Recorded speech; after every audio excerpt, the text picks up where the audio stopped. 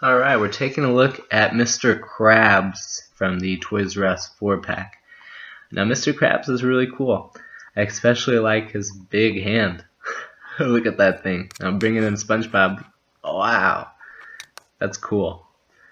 So, bye SpongeBob.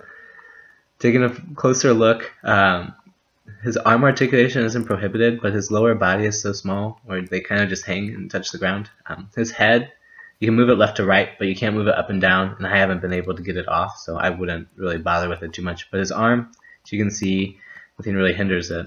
It is really heavy with a big hand, though. And then his other hand. Pop him off. Look at his legs. He doesn't have any feet, and those are really stubby. Um, pop his hand back on.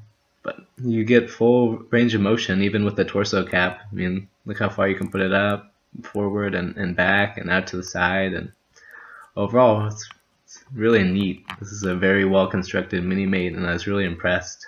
Now as you can see it does come with an accessory and I can't really take it away from him if I try really hard and pry it away from his hands. It's a bag of money with a little piece of plastic on the back so it can clip into a mini mate hand so I won't keep it away from him for too long.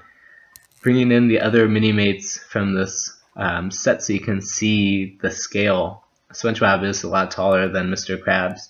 Maybe they could have made SpongeBob a little bit shorter, but when you start seeing them with the other figures, there's Mr. Krabs' other employee.